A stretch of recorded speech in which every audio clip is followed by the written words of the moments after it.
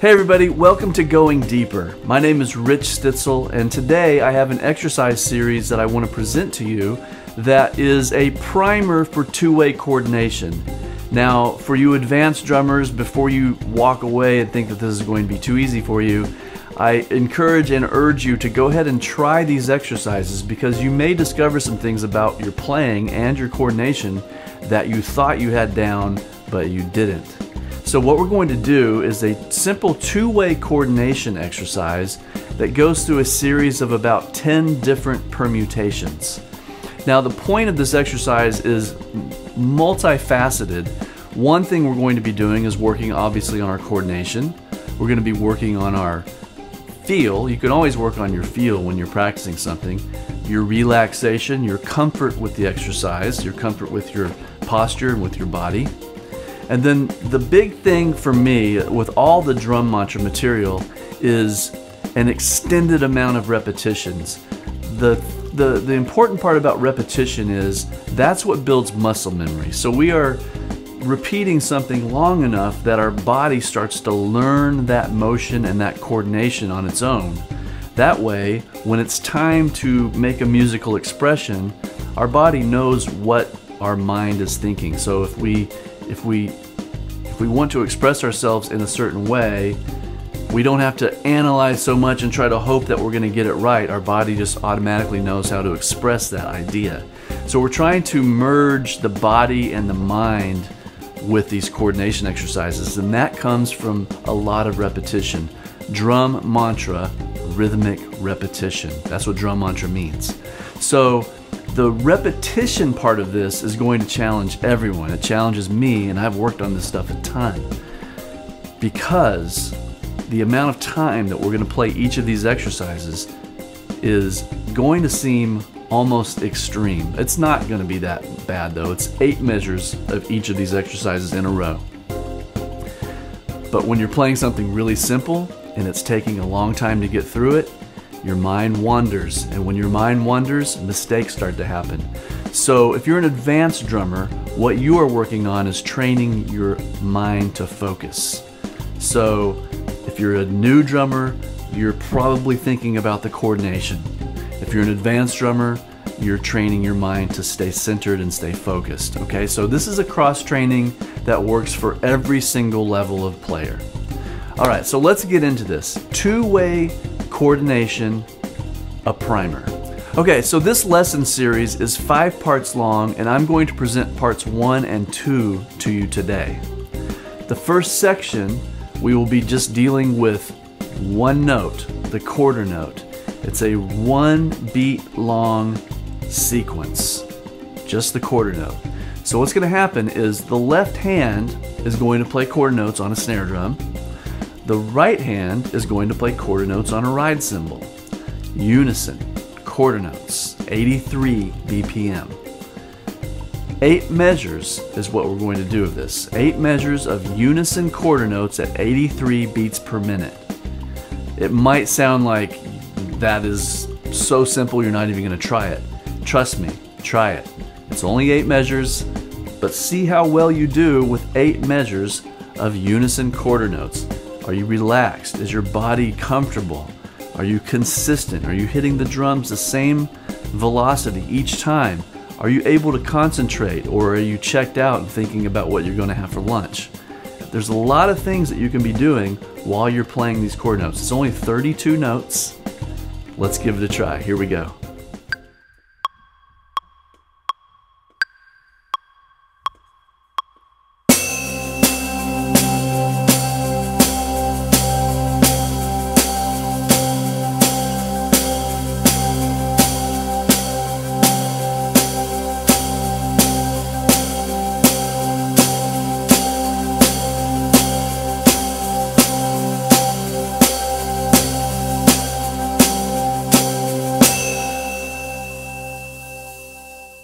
Okay, great. Let's move on to the second exercise.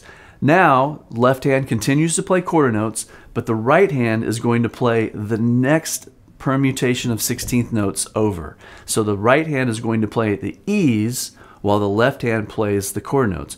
1E, 2E, 3E, 4E. Okay, here we go again. Eight measures 1E, 2E, 3E, 4E. Concentrate, relax, pay attention to as much that's going on as possible. Stay focused, and I'll see you in a minute.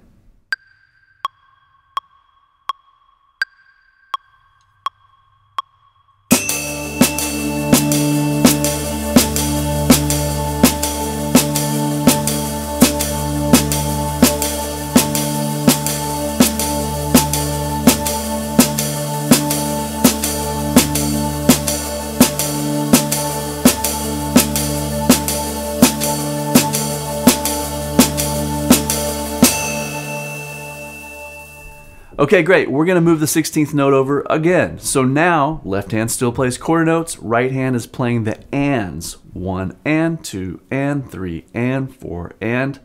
Keep your concentration, keep your relaxation, keep your focus. Here we go.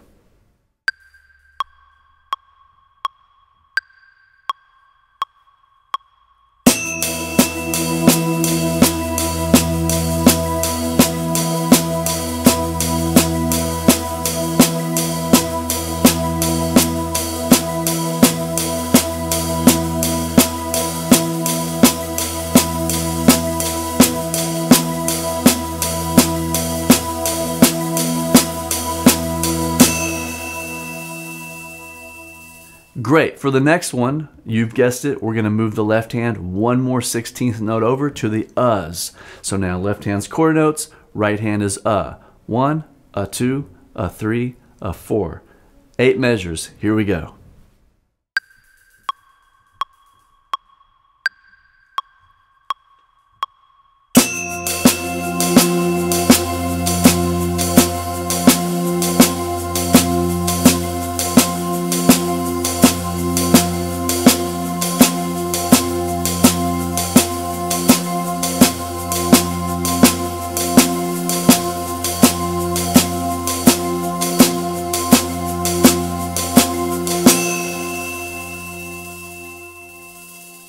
Excellent. Now the right hand is going to play all the eighth notes while the left hand plays quarter notes.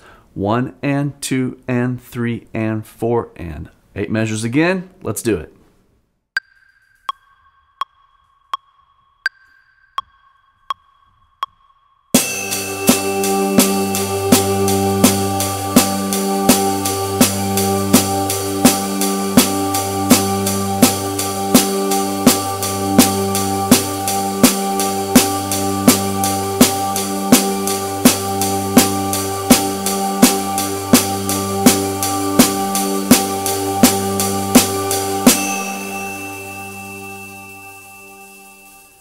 Okay, great.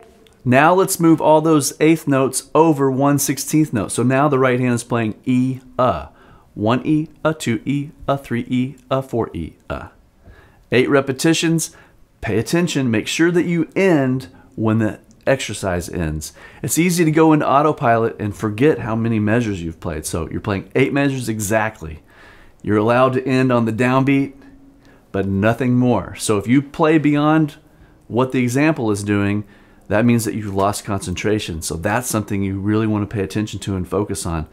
Concentration is vital when performing music.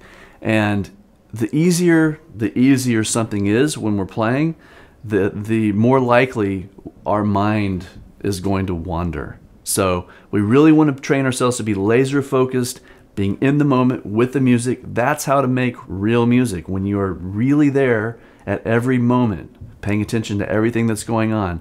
So we're training ourselves to focus. Here we go. Eight measures, E, uh.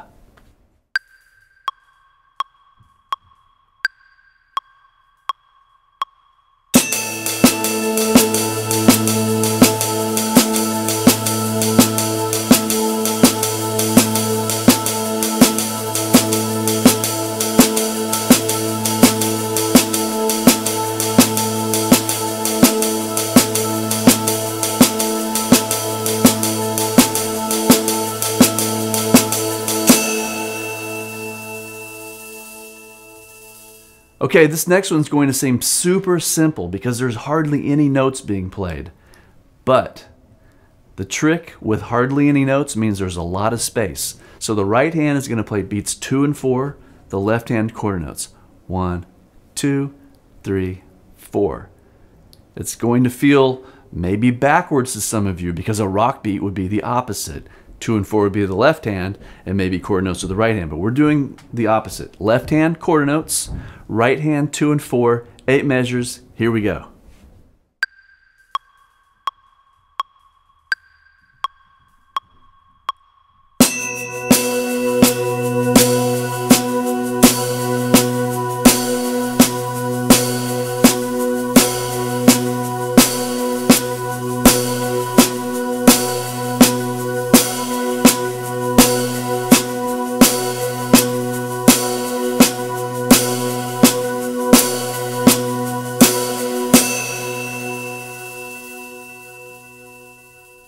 Okay, excellent. Now, if you thought that had a lot of space, this next one's going to really have a lot of space because now the left hand only plays on beat three. One, two, three, four.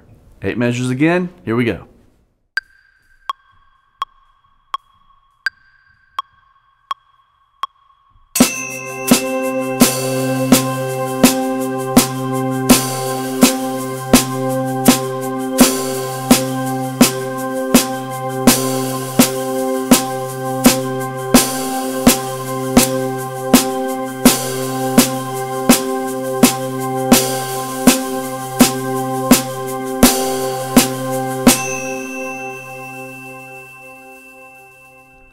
Okay, now's when we're going to have a little bit of fun with this. We're going to we're going to bump up the intensity level quite a bit.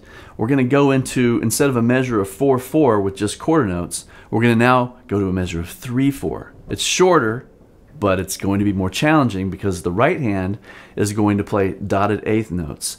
So what's happening is the left hand is playing quarter notes, the right hand is playing dotted eighth notes, one E and a two E and a three E and a one E and a two E and a three E and a one E and a two E and a three E and a bop, boom bop, boom bop boom, bop, boom bop, boom bop boom, bop. So we're playing the three to four, three 16th note groupings or a dotted eighth note, to four, four 16th notes or a quarter note, the three to four polymetric relationship.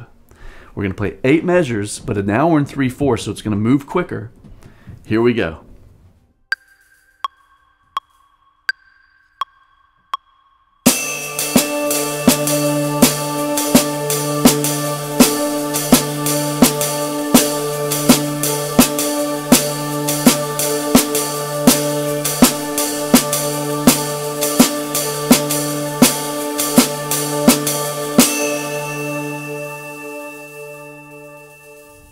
Okay, and finally, the last exercise in this section, we're going to now lengthen the measure to 5-4.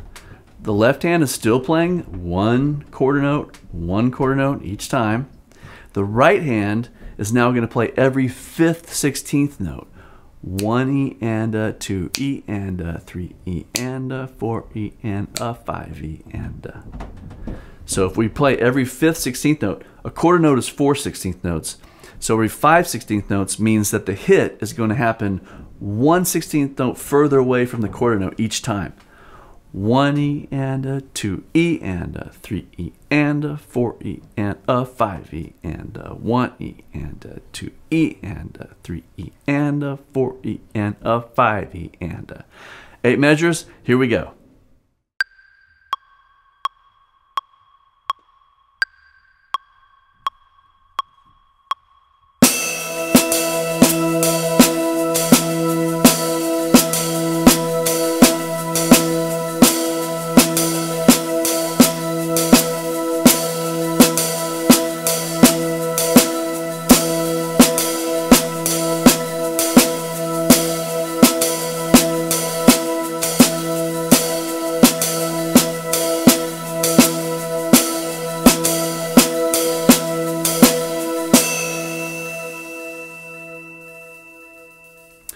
Okay, great. Now here's the deal.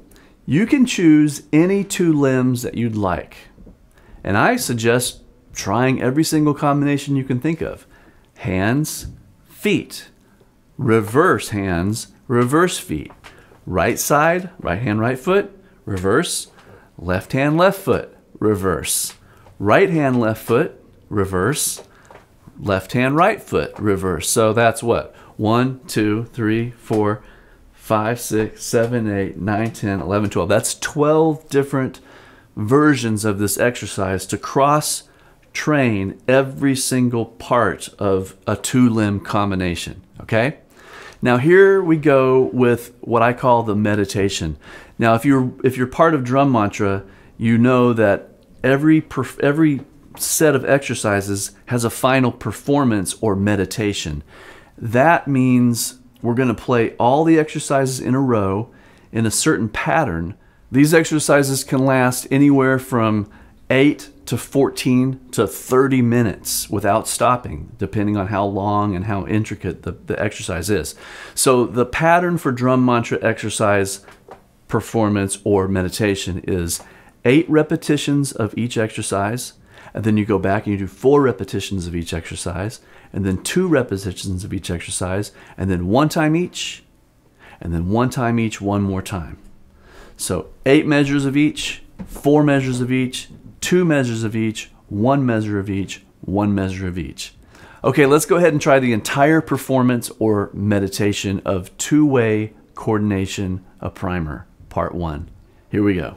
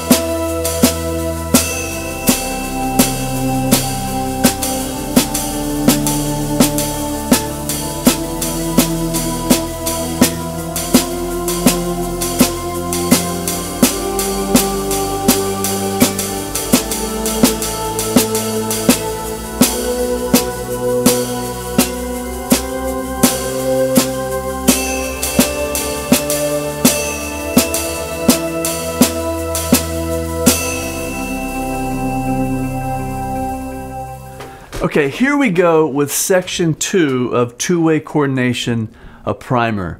This is going to, we're just going to add one eighth note and it's going to totally change the game. Now we're getting to stuff that an advanced player may be challenged with beyond just being able to concentrate. So we're going to jump into this. This is now a two beat long phrase with the left hand. So the first section was just quarter notes. One beat long phrase with the left hand. Now, two beat long phrase will be a quarter note and two eighth notes. One, two, and. That's the ostinato that the left hand plays. The right hand is going to do the exact thing that it just did in section one. The permutations of downbeats, E's, ands, us, all the eighth notes, E's and us, two and four, beat three. Then we do the dotted thing, and then we're going to do the five note grouping thing over, dot, dot, dot, dot, dot, dot, dot, dot, dot, dot, dot, dot, dot. We're gonna we're gonna look at this as some four four, but it's only a two beat left hand ostinato. Okay, so number one, one, two, and three, four, and quarter notes on the ride cymbal. Bop, bop, bop, bop, bop, bop. Eight measures. Here we go.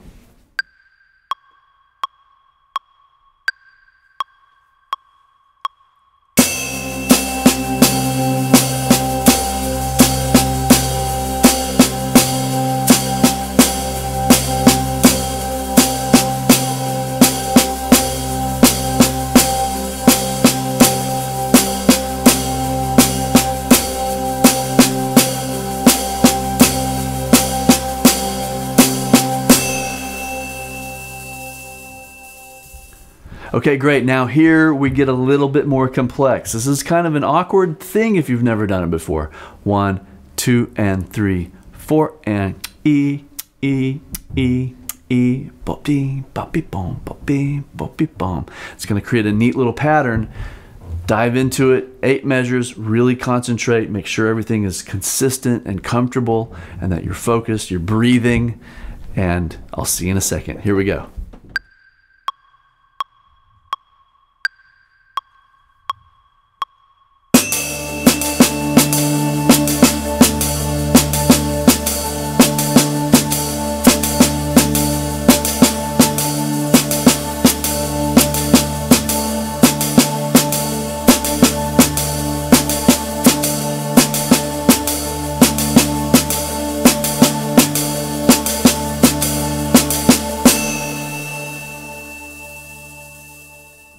Okay, great. The next exercise, we're going to go to ands on the ride cymbal. One and two and three and four and.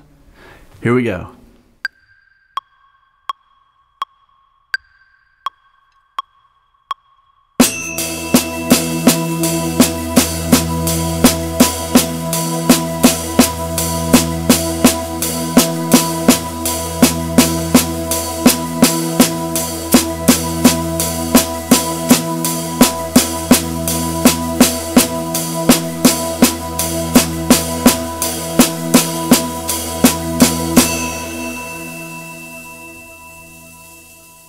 Okay, this next one's probably one of the more tricky ones. The ride cymbal goes to the uh. One, a two, and a three, a four, and a. Eight measures repetition. Here we go.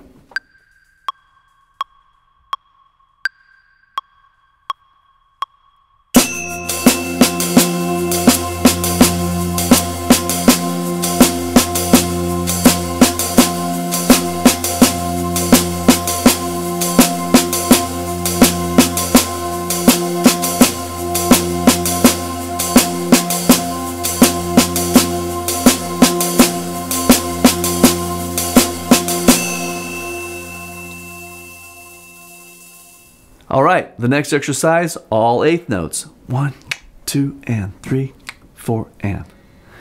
All right, let's do it.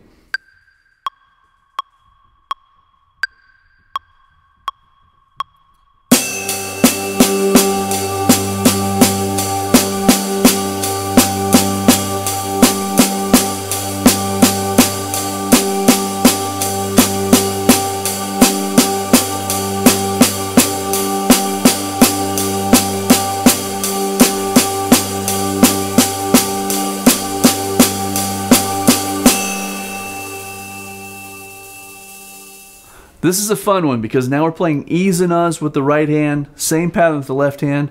One E, a two beat, boop beat, boop ba, ba boop ba boop ba boop boop ba boop ba boop ba ba boop ba boop ba. All right, here we go.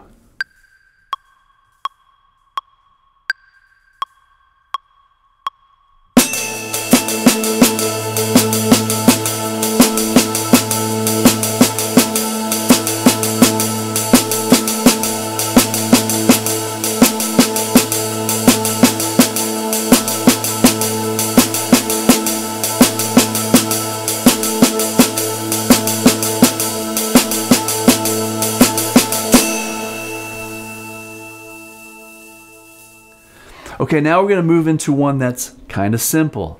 If the exercise is simple technically, that gives you the opportunity to focus on all the other aspects relaxation, consistency, breathing, focus, intention, clarity, sound. What, the, what the, how, how well are the drums sounding? How consistent are they? Okay, so a lot of things you can start to think about when you're not thinking about the coordination. So the right hand is playing beats two and four. One, two and three, four and. Eight measures, here we go.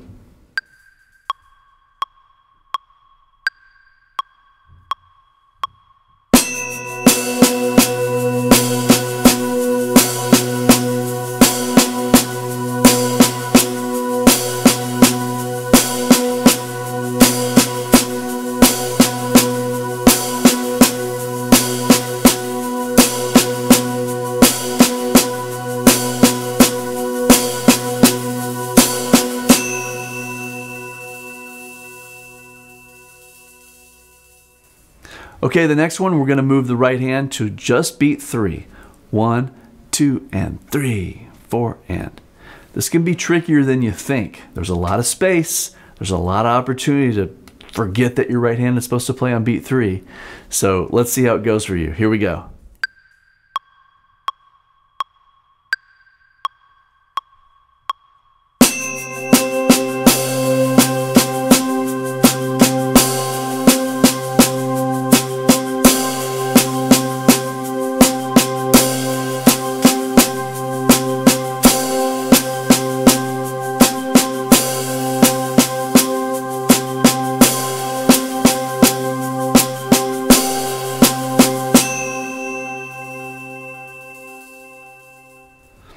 Okay, now we're going to increase the complexity level quite a bit because now we're doing a two beat phrase, one, two, and underneath a three beat phrase, the dotted eighth note, one E and a two E and a three E and a.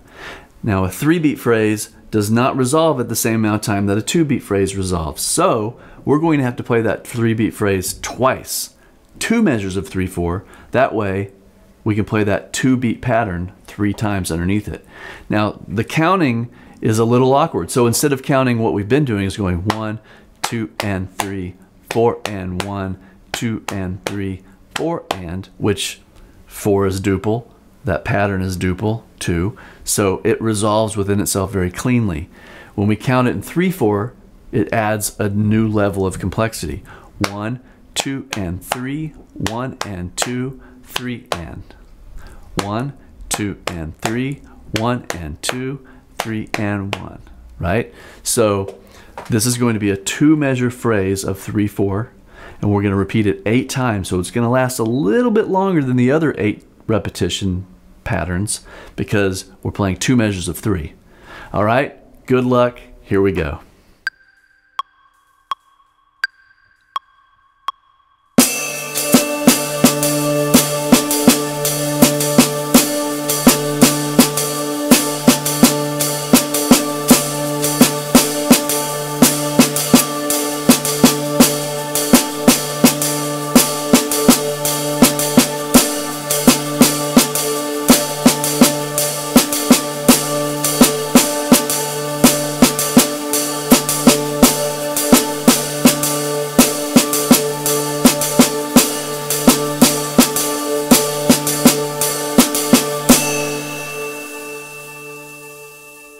Okay, if that was challenging for you, you are not alone. It is not easy. Hopefully, you rewound it, worked on it a bunch. If, if this was something that you tried and it fell apart and you got frustrated, Take your time with it. It is very worth mastering this exercise. Not because you're going to all of a sudden be in a band and go ba ba do ba ba do ba ba. It's because when you connect that those dots, your your neuro network is changing, and you are now understanding rhythmic relationships on a deeper level. You're understanding the complexity of a dotted eighth note over a two note rhythm, a quarter note and two eighth notes. There's a lot going on there. Don't give up. Don't make an excuse. Definitely don't, uh, you know, pay attention if you ever say this. When am I ever going to use that on a gig? If you say, when am I ever going to use that on a gig? There's a great indicator that it's something maybe you should spend some time working on. Now, if it's a real weird, crazy thing that doesn't really make any sense, you've got to use things that are practical. This exercise is practical. It does a lot of different things that are going to train your mind and your body to understand a different level of complexity. So I highly recommend working through this if you can't do it yet. Okay? For those of that of you that could do it, we're going to add another level of complexity with a final exercise in this session section, which is 5-4. We're going to play every fifth, 16th note with the right hand while we play the two note grouping with the left hand. Now, in five, we count it like this one, two, and three, four, and five, one, and. So we're, oop, we have to do two bars because five doesn't work with two. We have to do two bars of five. Two goes into 10. So we have to count two bars of five. One, two, and three, four, and five. One and two, three and four, five and one. Then we're back to the beginning. One E and a two E and a three E and a four E and a five E and a. Okay, it's a two measure long phrase. We're still gonna play it eight times though. This is a long phrase. Get comfortable with it. It's long enough to start becoming distracted and losing your place. This is a challenging one. Good luck. Here we go.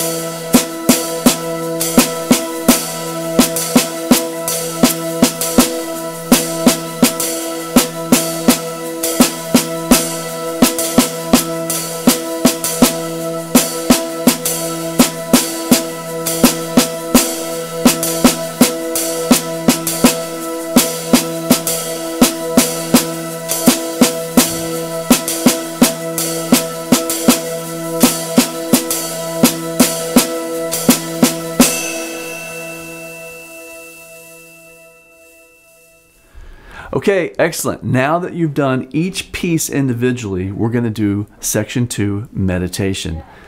Eight repetitions of each, all the way down. Even those two measure phrases are both eight repetitions.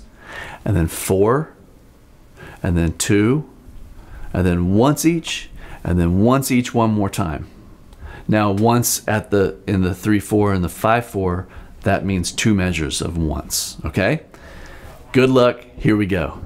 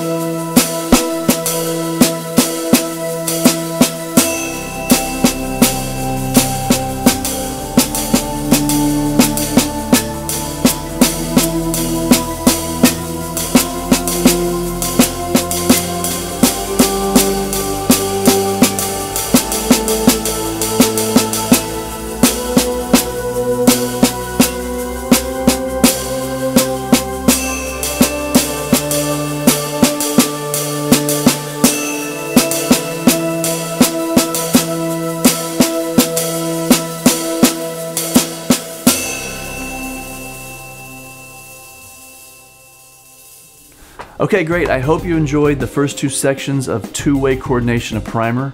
There are three more sections in the members area of drummantra.com if you want to go deeper on this stuff.